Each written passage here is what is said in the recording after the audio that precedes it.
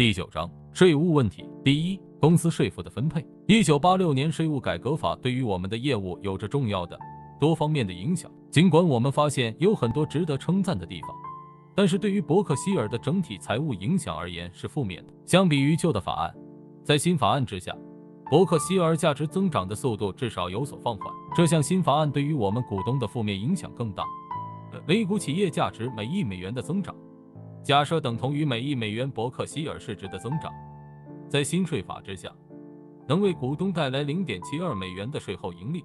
相比之下，根据旧的法案，此项数值为零点八零美元。当然，这个结果是反映了个人资本税率从百分之二十到百分之二十八区间的最高线。下面是新税法变化对于伯克希尔的影响。公司普通收入的税率将从一九八六年的百分之四十六下降到一九八八年的百分之三十四。很显然，这对于我们具有正面影响，而且这对于投资的两大公司大都会 ABC 公司和华盛顿邮报公司也具有正面影响。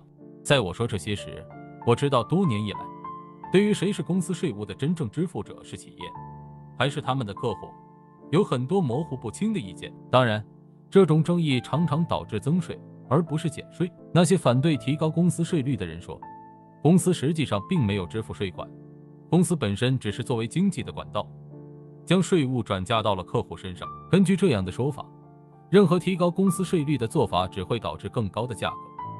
公司提升产品的价格以抵消税率的提升。站在这个角度，管道理论的支持者一定会得出这样的结论：公司税的降低不会改善企业利润，但会相应的对客户降低价格。与此相反，另一些人认为，公司不但支付了所征收的税，而且自我吸收了这部分成本。这些学派说，公司税率的变化对客户没有影响。真正会发生什么？当公司税率降低，伯克希尔、华盛顿邮报、大都会的利润会飙升吗？或者公司会给客户降低价格吗？这个问题对于投资者、公司管理层以及政策制定者都很重要。我们的结论是在一些情况下。公司税率降低的好处会全部或者几乎全部的落在公司以及股东身上，在另外一些情况下，这种好处会全部或者几乎全部传递给消费者。最终的结果取决于公司商业特许权的强弱以及特许权的利润率是否受到监管。例如，当特许权强大，而且税后利润受到相对精确的监管，就像电力公司那样，那么公司税率变化的大部分将会反映在价格里。而不是公司的利润。当税率降低，价格随之降低；当税率上升，价格会随之上升。虽然有时价格的反应不那么迅速，类似的结果也会发生在价格竞争激烈的行业里。当公司的商业特许权很弱时，在这些行业里，自由市场竞争常常以一种迟滞的、不规则的但通常有效的方式进行监管。实际上，自由市场的规律本身在价格竞争行业中扮演的角色。与公用事业委员会在电力行业监管中扮演的角色一样，起着同样的功能。因此，在这些行业中，税率变化对公司产品价格的影响胜过对公司利润的影响。然而，对于那些非监管的、拥有强大特许权的公司，则完全是两回事。在这里，公司以及股东是税率降低的主要受益者。这些公司就像电力公司一样，从降税中获益，但却没有一个监管者迫使他的产品降价。我们旗下的很多公司，无论是全资拥有的还是部分持股的，都拥有这种特许权。这样，税务降低的结果是，好处大部分进了我们的口袋，而不是消费者的口袋。尽管这么说或许是不恰当的，但却无可否认。如果你试图相信些别的东西，想一想你附近的最能干的脑科医生或律师，假如最高个人税率从百分之五十下降到百分之二十八。你真的认为这些专家在其擅长的领域里是当地特许权持有人会降低收费吗？然而，更低税率给我们所营业务和投资者带来的喜悦，会受到我们确信的另一事件的严重影响。排入日程的1988年税率，个人和公司的，对于我们来说完全不切实际。这些税率非常有可能给华盛顿带来财政上的麻烦，并将证明与稳定价格的初衷相悖。因此，我们相信，最终，比如说。五年之内，或是更高的税率，或是更高的通货膨胀率，几乎一定会出现。即便我们届时看到二者都出现，也并不令人吃惊。公司资本利得税率从百分之二十八提高到百分之三十四，一九八七年生效。这个变化对伯克希尔有着重大的负面影响，因为我们期望将来公司价值的增加来自资本利得。例如，我们的三大主要投资持股人大都会、盖克保险、华盛顿邮报年末时市值超过十七亿美元，接近伯克希尔净资产总值的百分之七十五。然而，仅给我们带来九百万美元的年收入。这三家公司都持有非常高比例的留存利润，这些高留存的利润，我们认为最终会以资本利得的形式贡献给伯克希尔。新税法提高了未来实现资本利得时的税率，包括那些在新法生效之前就已经存在的未实现利润。到年底，在我们的权益类投资中，我们有十二亿美元的未实现利润，在我们的资产负债表上。新税法的实行将会延迟。因为 G A P 通用会计准则规定，对于未实现利润的递延所得税负，适用百分之二十八的税率，而不是当前的百分之三十四税率。据悉，这条法规很快将发生变化。当变化发生时，大约有七千三百万美元会从我们的 G A P 净资产中消失，转移到递延税项下。在新税法下，我们的保险公司收到的分红和利息税负将大大增加。首先，所有公司从国内公司收到的分红，统统征收百分之二十课税，旧税法是百分之十五起。其次，对于余下的百分之八十，有一项仅仅针对财产保险、灾害保险公司的变化：如果实施分红的股票是在一九八七年八月七日之后买入的，那么余下部分的百分之十五需要课税。第三个变化也是仅仅针对财产保险、灾害保险公司的有关免税债券问题。如果保险公司是在一九八六年八月七日之后购买的该类债券，其付息仅有百分之八十五是免税的。最后的两个变化非常重要，它们意味着我们在未来来自投资方面的收入，相较于旧税法下，会大幅减少。与我们之前的预期相比，我最乐观的推测是，这次新税法最终会降低我们保险公司的盈利能力至少百分之十。新税法还大大地改变了财产保险。灾害保险公司的缴税时间，一项新规定要求我们在纳税申报时减去我们的损失准备金。这项变化会减少抵扣，并提高应税收入。另一项规定分期六年实施，要求我们将预收的保费准备金归入应税收入。没有一项规定改变我们给你们报告中提到的年度税款，但是每一项都大大加速了支付的进程。原来那些后端支付的递延税项，现在变成了前端支付。这样的改变会大大减少我们企业的盈利。用一个比喻来说明税收：如果刚满二十一岁的你被要求即刻为你一生的全部收入纳税，那么相较于要求在你去世时纳税，你的终身财富水平和遗产会仅仅是后一种方式的一小部分。细心的读者或许会发现，我们所说的前后存在矛盾。先前在讨论价格竞争激烈的行业时，我们提到税率的增加或减少。这种影响大部分会传递到消费者身上，对公司影响不大。但是现在税率的增加会影响伯克希尔财险、灾害险公司的利润，即便他们的运营环境已经是充分价格竞争的行业。这个行业成为一般通则的例外的原因在于，并非所有大型保险公司都使用相同的税务公式。重大区别的存在出于几个原因：一个新的可替代的最小税务额法规会极大地影响一些公司。但不涉及其他公司。一些大型的保险公司拥有巨大损失之后的扣减数额，这些数额会在随后的至少几年时间里大大减少税务支出。一些大型保险公司会将保险业务与非保险业务合并在一起，反映公司的回报。这些愚蠢的情况导致了在财险行业产生了变动极大的边际税率。然而，在其他大多数价格竞争激烈的行业里，例如铝业、汽车业和百货业，却没有发生类似的情况。这些行业里的大型公司都按照一致的税务公式进行竞争。对于财产险、灾害险公司，没有一个统一的税务计算方法，意味着落在这个行业上的增加税负不会像价格竞争激烈的行业那样传递到消费者身上。换言之，保险公司将自行承担新税法带来的负担。这些负担的一部分将按照1987年1月1日生效的新起点方法进行冲销。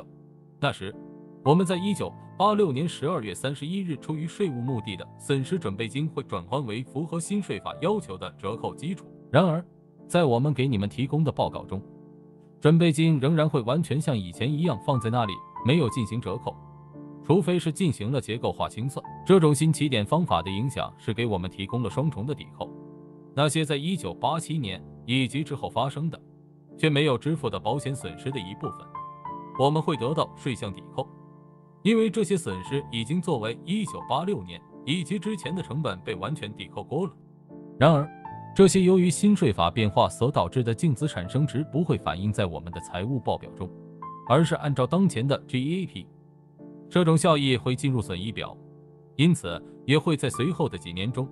以减税的方式进入净资产，我们预计这种由于采用新方法调整所带来的全部效益在三千万四千万美元之间。然而，应该注意的是，这是一次性的效益，而其他与保险相关的税务变化不仅仅是正在发生，而且随着时间的推移，在很多重大方面变得更为严峻。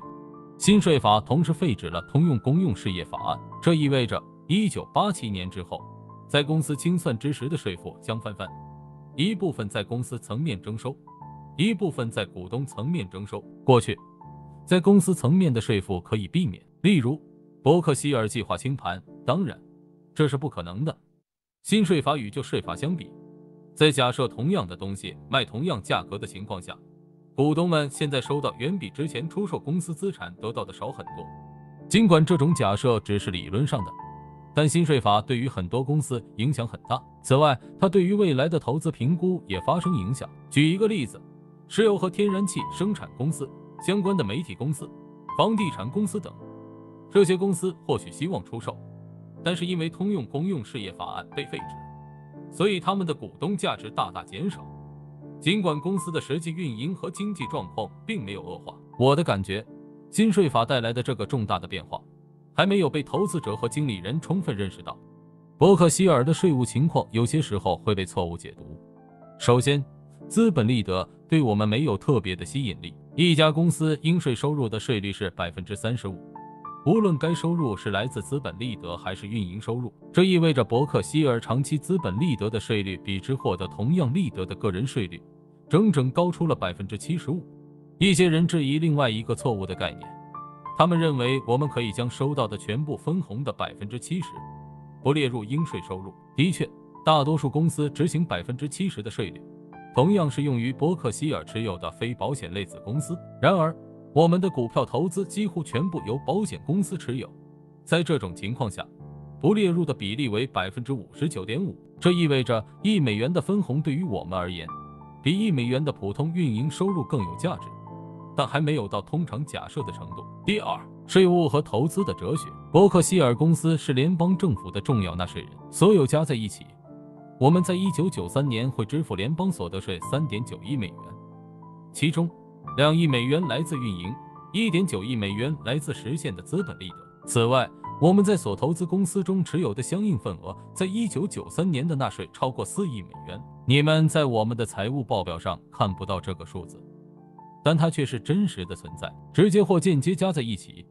伯克希尔在一九九三年支付的联邦税款占到所有美国公司当年税收总额的百分之零点五。谈到我们的股份问题所涉及的税收，芒格和我绝对毫无怨言。我们知道自己是在一个市场经济体系中工作，与那些像我们一样努力，甚至更努力的人相比，社会对于我们的回馈已是非常慷慨。税务制度应该。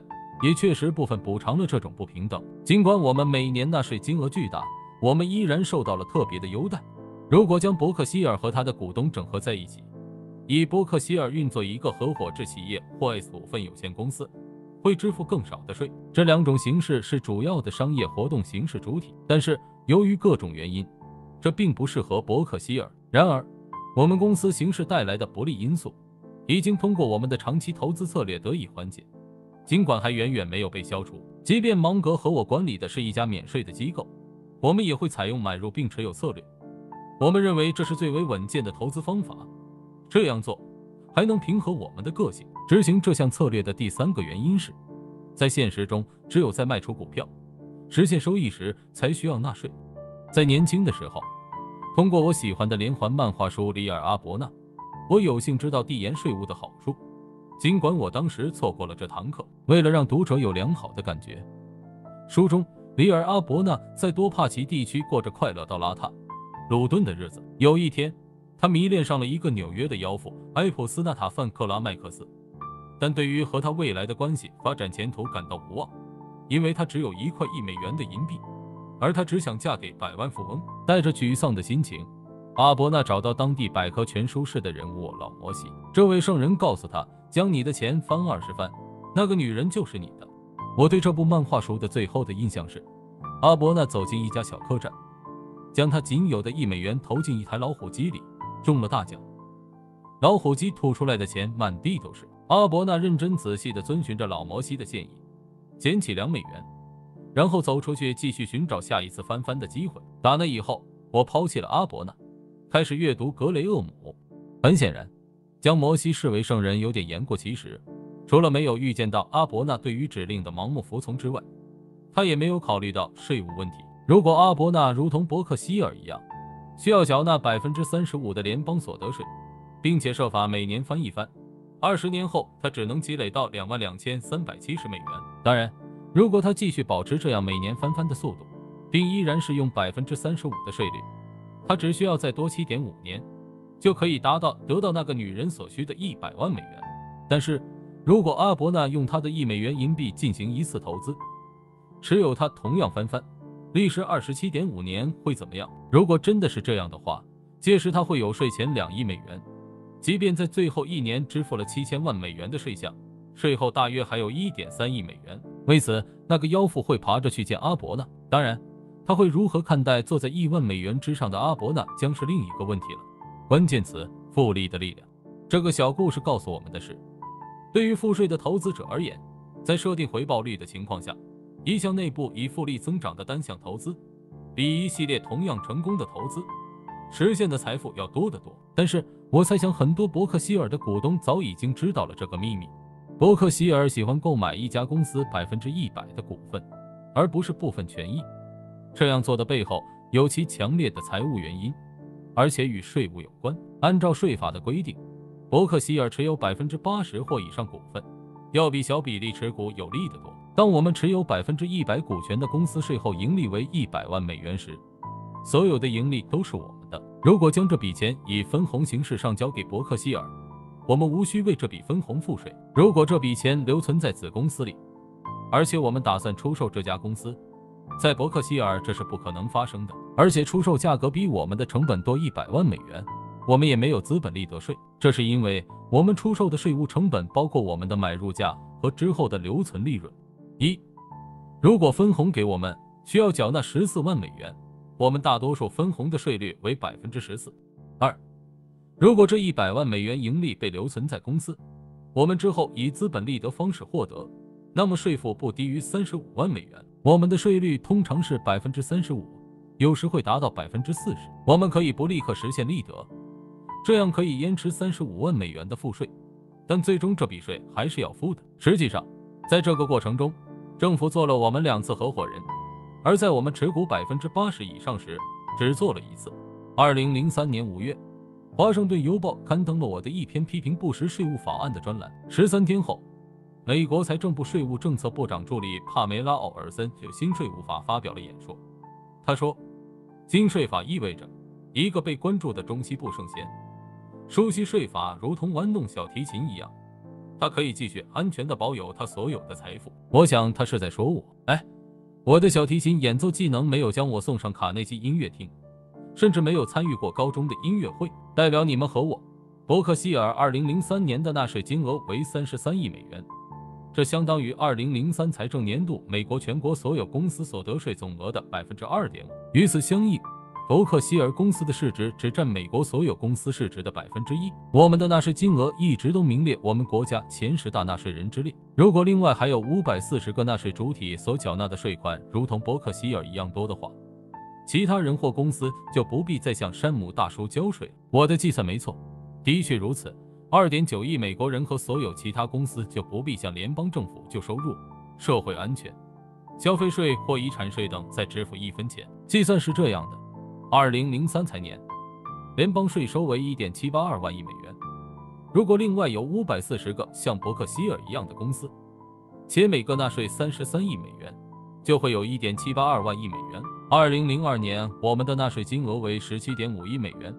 我们的联邦纳税单就超过八千九百零五页。按照要求，我们尽职尽责地填写了两份纳税单，摞起来超过七英尺高。在公司总部，我们这个小小的、只有十五点八个人的团队，尽管有时感到筋疲力尽，但偶尔一想到伯克希尔着实为国家财政分担了一己之力，我们还是为此感到兴奋和骄傲。我可以理解为什么财政部现在对美国公司存在挫折感，并倾向于爆发，但他应该问国会和行政部门要补偿。而不是像伯克希尔，二零零三财年的公司所得税占联邦全部税收的百分之七点四，而最高峰时的一九五二年占到百分之三十二，除了一个例外，一九八三年，去年的这一比例是该项数字自从一九三四年公布以来最低的一年。我可以理解为什么财政部现在对美国公司存在挫折感，并倾向于爆发，但他应该问国会和行政部门要补偿，而不是像伯克希尔。二零零三财年的公司所得税占联邦全部税收的百分之七点四，而最高峰时的一九五二年占到百分之三十二，除了一个例外，一九八三年。去年的这一比例是该项数字自从一九三四年公布以来最低的一年。即便如此，对于公司以及他们的投资者，尤其大投资者的减税优惠是二零零二、二零零三年度政府倡议的重要部分。如果在美国还存在阶级的战争的话，我的这个阶级会明显胜出。今天，很多大型公司的 CEO 具有拉小提琴的天赋，他们支付的比百分之三十五联邦税率的税率低得多，这使得你们的董事长相形见绌。一九八五年，伯克希尔缴纳的联邦所得税为一点三二亿美元，同期美国全国所有公司该项纳税金额为六百一十亿美元。到了一九九五年。上述两个数字相应，分别是二点八六亿美元和一千五百七十亿美元。二零零三年，正如之前提到的，伯克希尔的纳税是三十三亿美元，而所有公司的纳税是一千三百二十亿美元。我们希望未来我们的纳税金额继续上升，这意味着伯克希尔越来越繁荣，但同时也希望美国其他公司的纳税金额与我们一起上升。这或许是奥尔森女士应该做的事。